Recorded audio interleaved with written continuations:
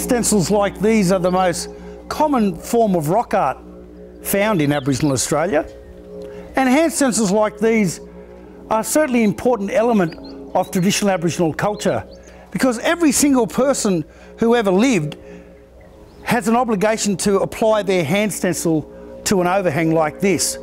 Traditionally, if your child had been born literally on the Mutawintji lands, then the mother of that child has the right to stencil her little baby's hand stencil on one of these walls. By applying her baby's hand stencil here, she's making a very public declaration that my child is from this land. My child was born here, my child has a right to participate in the ceremonies, my child has a right to use the food and water resources here, and my child has the right to be on this country. Otherwise, the first time a child gets their hand stencilled here is the first time that mum brings them to Mutawintji to participate in a ceremony. In traditional society, both boys and girls spend their formative years exclusively with the women. If we want to teach traditional kids how to survive in this very harsh environment, the best people to pass on that knowledge are the women folk, because it's the women folk who are out there doing it every single day. So from the time children start to walk as toddlers and until the time they reach puberty, they spend their formative years exclusively with the women.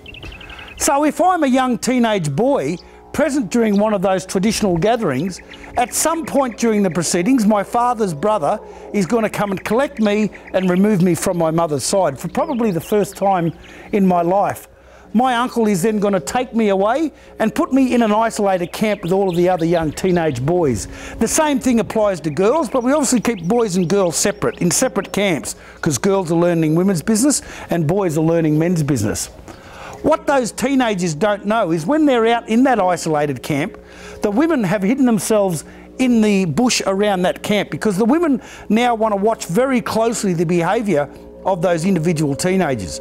They certainly want to identify leadership traits that might be natural amongst some of those kids, and they certainly want to identify those kids who still might be a bit too immature. Send him back to mum, we'll put him through in 12 months when he's grown up a bit.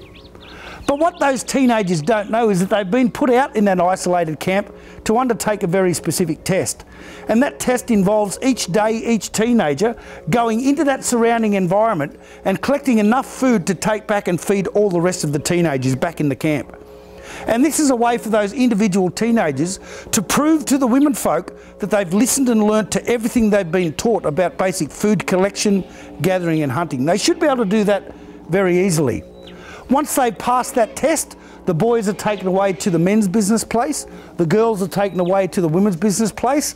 They are then put through ceremony for the first time. Now that our teenage kids have gone through an initiation ceremony, they're now entitled to come to an overhang like this and apply their own hand stencil for the very first time. But because they've only been through one ceremony thus far, when they apply that hand stencil for the first time, they're only allowed to show that much of the hand because they've only been through one ceremony. Every time they go through subsequent ceremony, they're allowed to show a little bit more, and so on and so forth. So obviously the only members of the tribe who've earned the right to stencil their entire forearms are elders, just like we can see here. So here is a female elder's forearm, and the presence of this female elder's forearm is also warning us that we're very close in proximity and location to that women's business place. So obviously to create rock art like this, we need to create the traditional paint or the ochre. All of the ochre here at Mutawintji was brought here from the Flinders Ranges in South Australia. I'm mainly talking about the red and the yellow ochre. Black ochre and white ochre was found available just about everywhere. So the Adnyamathanha people over in the Flinders Ranges were bringing red and yellow ochre here when they were coming here to participate in ceremony. So this is what it looks like as a raw product. What we do is we crush this raw ochre up to a fine powder and then mix it with water in the first instance.